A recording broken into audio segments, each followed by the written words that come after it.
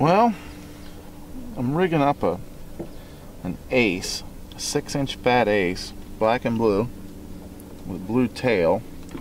I got a five aught Lazer Trokar hook, quarter ounce Reins tungsten weight. What we got here, I, these fish are spawning, or should be spawning.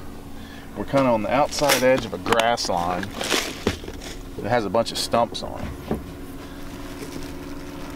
I'm just kind of dragging this ace on this weighted rig kind of through the grass. And then when you hit the stumps that's typically where those fish will spawn because it's something in the grass. You know they love the grass but if they get some hard cover in the grass makes it even better.